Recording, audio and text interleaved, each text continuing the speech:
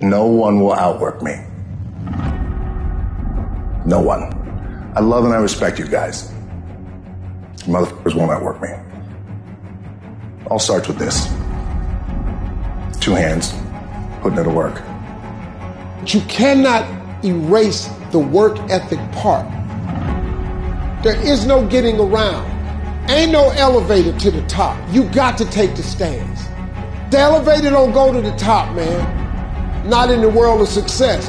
You got to take the stands. Y'all got to start getting gritty, man. I hate it when I see young people wasting their time, wasting all this technology got, just sitting around in this world that's been created for you that everything is instant.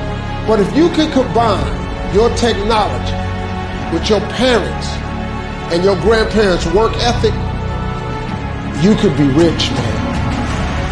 Just ask yourself this week do people know you for your work ethic?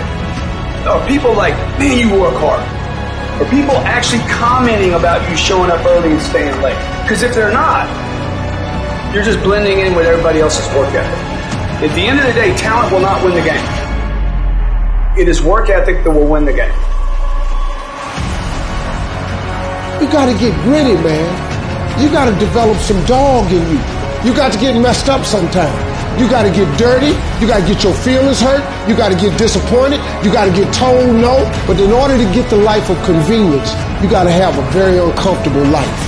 You got to get comfortable being uncomfortable. And you're always gonna have haters, and haters are like, well, damn man, how much are you gonna do? Like you do a lot of I say, yes, it's my ambition. Of course. You gotta work every day. It doesn't end. And when shit goes bad and it goes sideways, or you're coming through this injury, or people are writing you off, it should drive you. If you're gonna get it, you're gonna have to have that dog. You got an opportunity. So here's the deal. When you have an opportunity, why would you give 80%, 70%? Why wouldn't you always give 120%? From today on, you play whatever your best game is, you play that level every single time. Every time you practice, you don't care what the circumstances, what the situation is, every single time you give it 120%. It doesn't mean you're going to score every time, but you can always give 120% effort.